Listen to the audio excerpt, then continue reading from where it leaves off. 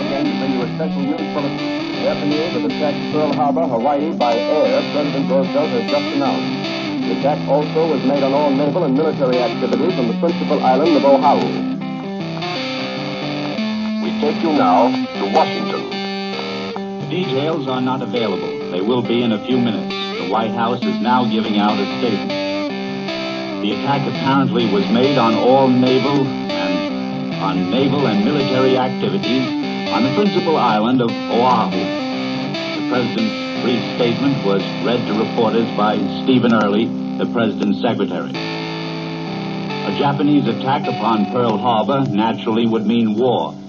Such an attack would naturally bring a counterattack, and hostilities of this kind would naturally mean that the President would ask Congress for a declaration of war. There is no doubt from the temper of Congress that such a declaration would be granted. Morning, Secretary Hull talked with the Secretaries of War and of the Navy.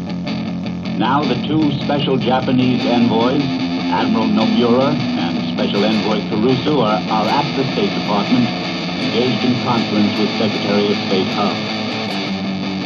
Their appearance at the State Department on this Sunday afternoon emphasizes the gravity the Far Eastern situation, where hostilities now seem to be actually opening over the whole South Pacific.